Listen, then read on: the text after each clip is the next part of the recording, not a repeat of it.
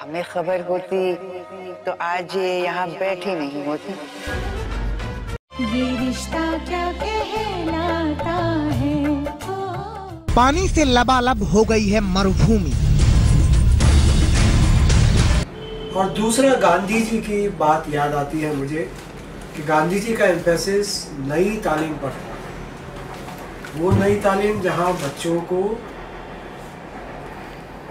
Indian cultural values और सभी धर्मों की अच्छाइयाँ सिखाए जाए। और वो सिखाकर उनको एक अच्छे नागरिक बनाए जाए। लेकिन प्राइमरी ज़िम्मेदारी सरकार की ही होगी, जहाँ तक प्राइमरी एजुकेशन का सवाल है। Thank you so much sir हमारे साथ रहने के लिए।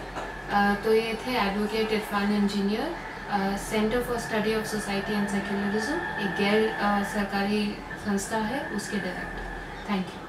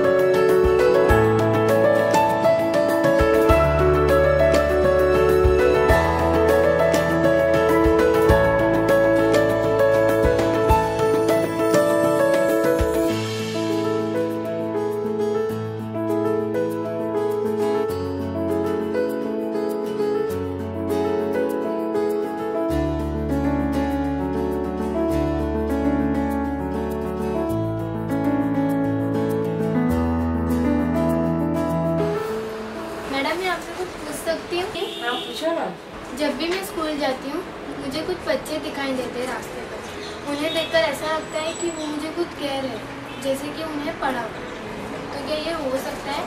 हाँ क्यों नहीं हो सकता है? लेकिन वो काम भी करते हैं। काम तो करना पड़ता है ना बेटा। तो घर का खर्चा कैसा चलेगा? फिर उनकी पढ़ाई? एक अफ्रीकन कहावत है each one teach one Bapu Mahatma ji का नाम सुना है हाँ। जिन्होंने देश को आज़ाद कराया था। उन्होंने भी इस पर ज़ोर दिया था। मतलब हम में से हर एक अगर एक को पढ़ाए तो शिक्षा फैल सकती है। और कुछ पूछना है? एक मिनट एक मिनट। मैडम एक और एक सवाल पूछ सकती हाँ हूँ? पूछो ना मैडम। क्या मैं भी पढ़ा सकती हूँ? हाँ बिल्कुल पढ़ा सकती हो।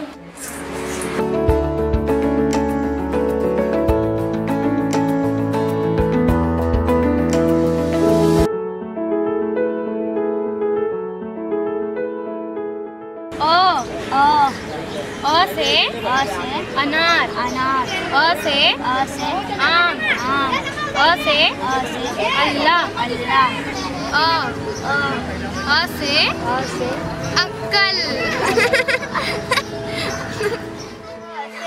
आम आम जो खट्टा मीठा होता है जो खट्टा मीठा होता है अ से अ से अनाज अनाज जिसकी रोटी बनती है। जिसकी रोटी बनती है। अ से?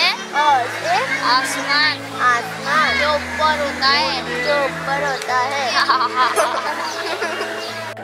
से? से?